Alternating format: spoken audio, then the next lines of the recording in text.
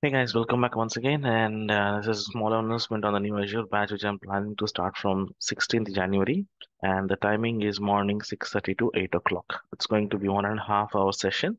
In this training, uh, what I'm planning to cover, I'm planning to cover AZ104, AZ305, and AZ400, which is admin, architect, and Azure DevOps uh, modules.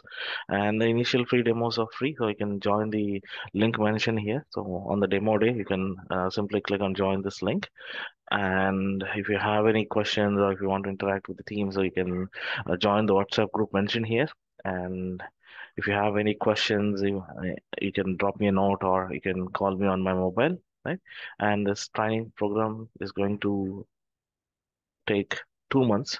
It's going to take two months, yeah. So Monday to Saturday, uh, six days a week, and roughly two months. It's, it's roughly around 40 to 45 sessions, and daily one and a half hour, as I mentioned, right? And the prerequisites pretty simple. Either Windows or Linux administration skill will really help you to understand this in terms of Azure administration. Okay, uh, if you have some uh, additional virtualization, on-premise virtualization skill set, then it will be easy for you to understand the cloud, right? And the fee you have two options and you get uh, installments and you have to pay 15000 in two installments. And you'll get a uh, 2000 discount if you are going for single payment right? It's, it's going to be 13000 and few demos are mentioned over here you can uh, watch it or in my channel there are few demos that are uploaded so you can you can watch the demos mentioned over here right so let me quickly share the course content. I'll go to home and Azure. So this this has to be updated. So I'll update in some time. So we'll start with Azure fundamentals and Azure networking, network security, again, deep network security using firewall, and then virtual machines, high availability using load balancer, DNS and standard load balancer, application gateway. So using these components, how you will provide the high availability. There is another module called front front door, which uh, I still need to update here. So we'll update and uh, uh, upload over here. And virtual machine scale sets for scalability and other options. So then we'll talk about storage. So if I go back, networking, computing, storage, okay if you look at the traditional way. And then backup and disaster recovery services. And uh, then we'll talk about databases and applications. Security active directory and uh, automation and uh, uh azure based uh, uh, management. So desired state configurations and the other stuff that we'll, we'll discuss over here right?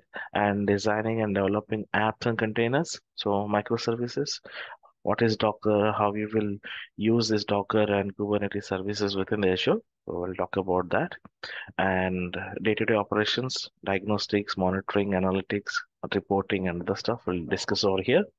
And then we'll talk about, as I mentioned, uh, the front door, which was not mentioned here. So the NAT gateway, WAF, and all will be part of will be part of your application gateway. So that we will try to cover over there itself.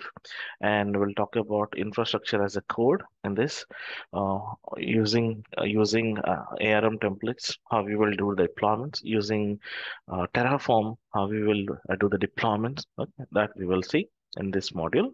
And we'll talk about migration projects how you can migrate the workloads from on-premise to azure and what is the cost around that how you will provide the estimations and stuff we'll discuss. Then we'll jump on to function and logic apps. Okay so it is again a PaaS service how you can use it that we will see. And management and governance how you can use the uh, azure inbuilt recommend uh, azure recommendations or the management and governance can be used to control the um, resources within the azure that we will discuss.